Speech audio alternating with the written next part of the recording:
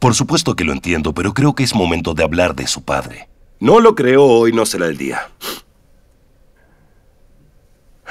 No voy a hablar de mi padre, eso no tiene nada que ver. Solo inténtalo. No, yo solo vine porque le tengo miedo a conducir. ¿Y crees que no se relaciona? No lo sé, para eso pago dos lucas la hora para que me dé una respuesta, eh.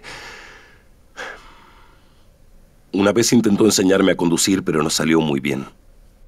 Apretar el embrague allá y larga despacito y anda acelerando. ¡Despacito, despacito! Yo intentaba hacerlo bien, pero él solo me cagaba a pedos por todo lo que hacía, ¿entiende?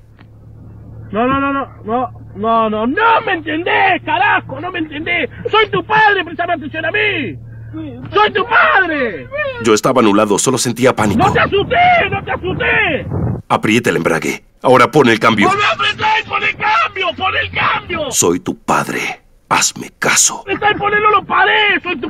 ¡Soy tu padre! ¡Soy tu padre! ¡Soy tu padre! ¡Prestame atención a mí!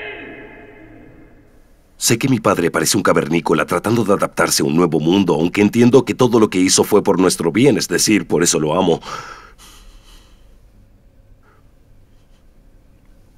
Y sé que no es su culpa, pero... Cada vez que escucho a Darth Vader me da un ataque de pánico.